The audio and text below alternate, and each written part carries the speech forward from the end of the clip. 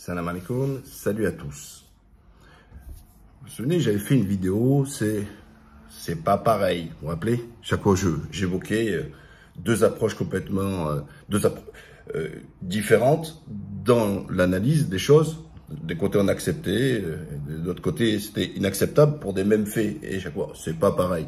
C'est exactement la même chose. Mais en fait, que cache derrière tout ça cette posture, parce qu'il ne faut pas parler du monde, mais cette posture de l'Occident, euh, qui fait que ils nous disent que certains qu'il faut boycotter le Qatar euh, parce qu'il y aurait euh, trop d'accidents de travail, etc.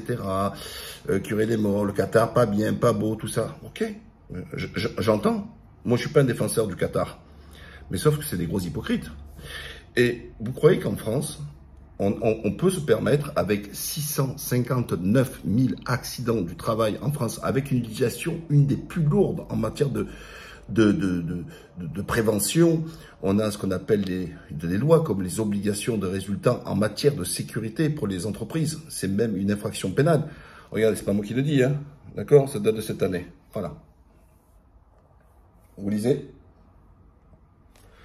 Alors, en France, deux salariés meurent chaque jour à cause du travail. Et ce, à compter les accidents de trajet, les maladies professionnelles. La France porte le bonnet d'âne en, matière à l'échelle européenne. On est dernier européen. OK. Et on voit des gens qui sont là, s'insurger. Mais, on décompte le Qatar, euh, les trucs, le nombre de morts ici, etc. Oui, mais pourquoi vous agissez pas pour, euh, pour eux? Les mêmes, d'ailleurs, qu'on voit pour, euh, là, actuellement, oui, libérer la femme iranienne, se coupe des cheveux, tout ça, etc. Ah ouais, très bien. Mais, par contre, en France, quand une femme vous porter le, voile, vous l'accusez de tous les maux d'être une islamiste, islam politique, islam, femme soumise, qui euh, dénature la liberté euh, de la femme, etc. Alors, là, on va venir dans le vif du sujet. La Russie, le premier pays au monde qui a été, euh, par l'Occident, je dis bien par l'Occident parce qu'on nous fait croire que les sanctions qui sont faites contre la Russie c'est euh, le monde entier. C'est faux. Il y a plus de pays aujourd'hui euh, qui, euh, qui commercent et qui ne sanctionnent pas la Russie que ceux qui sanctionnent. Qui sanctionnent? Les Américains et leurs toutous. Bon, hélas, nous en Europe, on fait partie de toutous. Hein. On est des toutous des Américains. Et encore pas tous. On voit que la Hongrie hein, n'est pas très chaude à, la matière. Et puis les Américains qui font des menaces, imposer leur dictat en disant non, vous ne tirez pas euh, votre euh, légitimité des chefs d'État des pays de par euh, votre peuple, mais par ma décision à moi de dire ce que vous devez faire. Et si vous ne faites pas des sanctions, c'est moi qui vais vous sanctionner. Voilà. Et, et, il nous parle après de démocratie, de trucs, etc. Désolé, les chefs de gouvernement ou les chefs d'État de chaque pays doivent rendre des comptes à leur peuple et pas aux Américains. Et c'est pas aux Américains à dicter la diplomatie de nos pays. Voilà, ça c'est dit. Alors, donc on voit sur la Russie, je vous dis sans précédent, on les a même exclus euh, du sport, qui est inadmissible.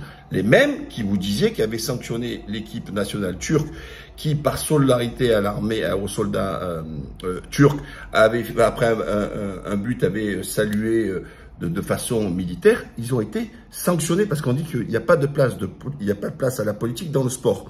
Que dire de l'Algérien qui avait refusé de combattre euh, ou c'est arrivé aussi un Iranien contre un Israélien, etc., parce qu'il ne reconnaissait pas cet État, viré, disqualifié des compétitions sportives et dégagé. Et là, on a l'inverse, on, vient politiser le sport, ce qui reprochait il y a, il y a, trois semaines, pour dire ben, les, Russes doivent être, eux, euh, retirer des, activités, euh, des, compétitions sportives. Oui, mais alors donc ça veut dire que c'est encore la politique. Là, c'est la politique qui vient imposer au monde du sport une vision euh, politique des choses. Oui, on va dire c'est pas pareil. Et là, on les voit tous, avachis, tous arrivés en Égypte. Macron le premier. Alors, euh, il faut parler de son prédécesseur Hollande. Hein. Je vous rappelle qu'ils avaient euh, la, Russie avait acheté deux navires, je crois que c'était deux sous-marins ou deux navires, je ne me rappelle plus exactement, euh, aux, Russes, et Hollande avait annulé euh, par rapport justement à ce qui se passait déjà à l'époque au Donbass, pour les vendre à Al-Sisi, l'Égyptien, qui a été un dictateur, qui a pris le pouvoir euh, euh, par la force, pas par les, urnes, par la force, qui a tué femmes, femmes, enfants et opposants, qu'a prisonnier le président légitime qui est mort dans les geôles, et tout, bien sûr, ses opposants, et pire, fait une loi pour disqualifier ce parti, le, traduisant et le, et le, classant dans des organisations terroristes. Or, quand il était au pouvoir, il n'y avait eu aucun terrorisme de la part de ce parti, ce qu'ils appellent les frères musulmans, etc. Alors, euh, 60 000 opposants au, boucher al-Sisi sont dans les geôles. Qu'est-ce que c'est 60 000 60 000 personnes. C'est l'équivalent des prisons françaises. Les prisons françaises sont aux alentours de 70 000, 72 000. Bon, il y a un surplein, mais 72 000. Grosso modo, l'équivalent. Mais sauf qu'en France, c'est tous les criminels, tous les délinquants, ce qu'on appelle, euh, voilà, c'est sur toutes les infractions pénales qui peuvent exister. Sauf que là-bas, c'est 60 000 que pour les opposants. Vous y ajoutez après, bien sûr, les criminels, les violeurs, enfin tout ce que vous voulez, etc. Mais rien pour opinion politique. Torture, peine de mort quand même. Oui, voyez? Alors j'attends encore la une du point comme elle a pu le faire pendant des années avec Erdogan, euh, ou etc. Le sultan, le truc, la Turquie. Pas un mois, pas un mois sans couverture sur la Turquie, pas un jour sans un article euh, sur la sur la sur la Turquie. Sauf qu'ici on a ni la peine de mort ni la torture et on est dans un pays libre et les opposants ils sont pas en prison. On a plus de partis politiques euh, qui se présentent aux élections en Turquie qu'en France. Voilà. Ça, c'est une réalité. Alors, que ça vous plaise ou que ça vous déplaise. Euh, et euh, euh, la plupart des partis qui existent en Turquie sont dans l'opposition à Erdogan. Voilà. Il n'y a qu'une alliance avec le MHP. Donc ça prouve qu'elle vit, hein, cette opposition. Et quand on le dit justement, dictature, etc., en général, vous voyez, Al-Sisi, après avoir fait son coup d'État, il s'est présenté aux élections et comme par hasard, il fait 95%. Bon, en Turquie, c'est des scores qui n'existent pas. Erdogan gagne à 53%. Mais alors, euh, Antalya, euh, Ankara et Istanbul, qui sont quand même deux, trois grosses métropoles, ils ont été perdus lors des élections différentes. Dans une dictature, un dictateur ne perd jamais, il gagne toujours les élections. Et puis on voit sa tête, sa ganache de partout, euh, dans tous les, dans toutes les rues, sa grosse tête ici. On voit pas la tête d'Erdogan. Par contre, on voit celle de Mustafa Kemal qui a fait la République il y a 100 ans en arrière. Alors posez-vous la question. Donc en général, dans une dictature, c'est le dictateur qui est en place qui est en photo de partout, et pas celui qui est à l'origine de la République. Voilà, c'était la petite parenthèse là-dessus. Donc revenons sur cette histoire-là, vous allez me dire, mais Mourad, en fait, qu'est-ce qui se passe? Ben, En fait, ils ne se sont jamais cachés, ils l'ont toujours dit. La même chose aujourd'hui, pourquoi ils soutiennent Bachar, sans le dire. Enfin, quand je dis soutenir, c'est pas un soutien direct, c'est indirect en laissant euh, la situation euh, statu quo. En gros, on reconnaît euh, quand même Bachar. Ils vont finir par le faire d'ailleurs. Hein. Pourquoi? Parce qu'ils se disent oui, mais si on donne, si c'est pas Bachar, ça va être les barbus. Et donc ils ont une vision, et Macron est dans cette droite ligne exactement là-dessus aussi, comme ses prédécesseurs, c'est qu'ils se disent que pour les pays arabes et pour les pays musulmans, vaut mieux une dictature euh, que les barbus. Alors, ça se traduit comment? Ça se traduit que la France, c'est la grande amie euh, des Émiratis, qui, les Émiratis, soutient le terrorisme un peu partout dans les pays arabes, on le sait bien, même en Libye avec Haftar, forme même des mercenaires, paye des mercenaires pour aller combattre du côté d'Haftar en, Libye. Vous voyez, ça c'est ça c'est du concret. Ce que je vous dis, c'est vérifié et vérifiable. C'est euh, euh, la, guerre, le, les, euh, les, massacres au, Yémen, etc. La France leur vend des armes, euh, pas de soucis, ils font du business avec les Émiratis, ils s'embrassent avec euh, euh, MBZ. Ensuite, l'Arabie Saoudite. Bon, alors, que dire de l'Arabie Saoudite quand même Qui oppose, qui, qui met en prison. Vous vous rendrez compte que l'Arabie Saoudite, qui est la terre des deux lieux saints, Mecca et Médine, il met des savants religieux, vous voyez, qui ont en prison. Il y en a une tonne, hein Allez, il y en avait même un, moi ça m'avait, c'est celui qui m'avait le plus marqué, qui après le Ramadan avait demandé un peu de miséricorde euh, de ceux qui s'étaient un peu opposés, un peu à lui, tout ça, etc. Ben, de leur pardonner. Ah, t'as dit rien que quand il a parlé de pardon, allez dans les geôles, torture et bien sûr peine de mort. Euh, ça coupe des têtes à tire larigot là-bas, d'accord? Mais rien par opinion. Alors, c'est pas la charia là-bas, je vous l'ai dit de suite, c'est la charabia. Parce que même dans l'islam, s'il y a la peine de mort, elle est tellement encadrée, etc., euh, que, que je peux vous dire que c'est difficile de l'appliquer. Euh, sauf que, vous savez, ça me fait penser, euh, comme les mecs disent, ouais, dans l'islam, tu as droit à quatre femmes. Ouais, ouais, ouais ok, tu as droit à quatre femmes. Mais donne les conditions pour pouvoir avoir, en avoir quatre. Déjà, si on arrive à avoir une deuxième en respectant les conditions que l'islam te dicte, euh, c'est déjà balèze, d'accord? Et en plus, on te dit, si tu penses être injuste, abstiens-toi. Alors, la peine de mort, c'est exactement la même chose. Euh, alors tout le monde dit, ouais, la peine de mort dans l'islam, moi, tu contre, alors que l'islam euh, est pour. Ouais, bah oui, mais la différence, c'est que moi, je suis contre, dans la mesure où la peine de mort et son application qui est faite dans les pays comme la euh, parce que pour ceux qui la demandent pour la France ou dans d'autres pays, les conditions ne sont pas celles de l'islam. Voilà. Parce que il faut que la défense ait aussi tous les moyens de, se défendre. Et quand on voit toutes les erreurs judiciaires qui existent, parce que c'est de la matière humaine, c'est des hommes et des femmes qui jugent, donc c'est normal qu'il y ait une part de raté. Et puis après, en fonction des moyens, ben, il y en a qui ont des, avocats qui peuvent mettre l'énergie et travailler sur les dossiers, et puis d'autres, ben, ils en font pour ceux qui sont payés, c'est-à-dire pas grand-chose. Alors, et l'homme va me dire, mais Mourad, mais en fait, derrière tout ça, ça traduit quoi? Ça traduit une erreur monumentale. Parce que si on dit, oui, les peuples arabes musulmans, il, leur faut, il faut leur serrer la vis. Moi, je vous pose la question. Les États-Unis, c'est à peu près, c'est cinq fois plus grand en population que la France. La France, c'est 67 millions. Eux, ils sont à peu près dans les 330 millions. D'accord? Donc, on prend toujours un multiple de 5 pour pouvoir comprendre. OK. Mais allez dire ça euh, donc il faudrait une dictature pour les, pour les Américains. Pourquoi? Vous savez combien de personnes en prison? 2 millions de personnes. Donc si en France on est à 72 000, 72 000, si on veut le rapporter à la même population que les États-Unis, il faut multiplier par 5. Donc ça veut dire qu'en gros il faudrait 360 000 prisonniers aux États-Unis. Sauf qu'ils ne sont pas 360 000, ils sont 6 fois plus que ça, ils sont plus de 2 millions. Vous, imaginez le schmilblick. Il n'y a pas une semaine où il n'y a pas une tuerie quelque part. Ça tire à outrance etc. Parce que ça fait partie de leur liberté de détenir des armes, même des armes de guerre, tout ça, etc. Alors, je sais pas quel amendement chez eux et compagnie, donc c'est constitutionnel chez eux. Des boucheries qui se passent dans des universités, dans des écoles, etc., etc.